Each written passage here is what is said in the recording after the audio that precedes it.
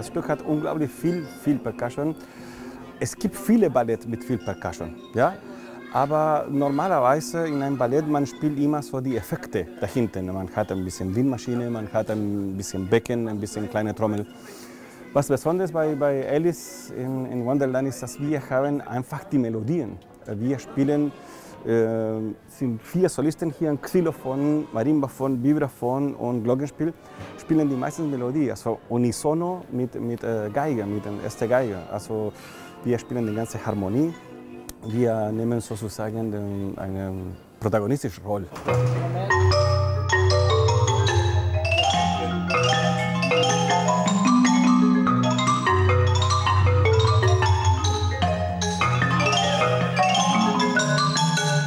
Also das ist so, dass äh, der Joby Talbot hat äh, das Stück geschrieben für vier Schlagzeuger und Pauke. Und das ist Wahnsinn, weil wenn du so spielst, wie der geschrieben hat, dann man rennt von links nach rechts. Also das spielen zum Beispiel drei Leute auf dem Marimba und die, die wechseln sich hin und her. Das haben wir gedacht, nein, nein, das machen wir nicht so. Wir spielen mit neun Leuten. Das ich spiele grundsätzlich Marimba, dann kann das Spiel Vibraphon, äh, dann kann der, der Tito spielen Xylophon und ein paar Instrumente dazu. Da hinten äh, Handbells und gibt Teile von, von Drumset, es gibt Teile von Trash Percussion, also richtig äh, Mülleimer dazu und von Windmaschine, Crotales, es gibt äh, arabische Darbuka, unglaublich viele Instrumente.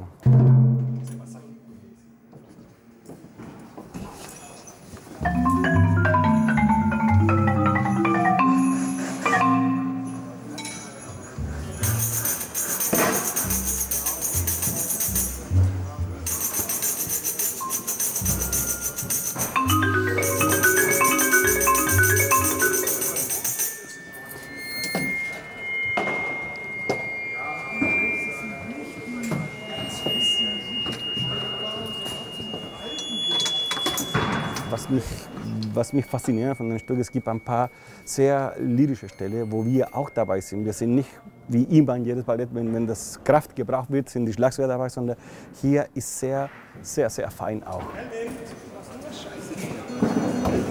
Weil Schlagzeug ist, dass du bekommst die Noten, diese Partitur von einem Komponist und du musst die ganze Einteilung selbst machen.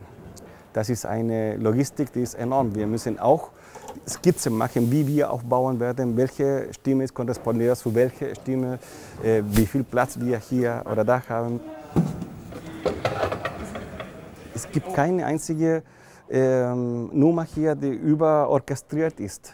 Ja, es gibt, wenn du so viele Schlaginstrumente hast, besteht die Gefahr, dass alles super laut und überorchestriert ist. Too much. Und das ist nicht der Fall.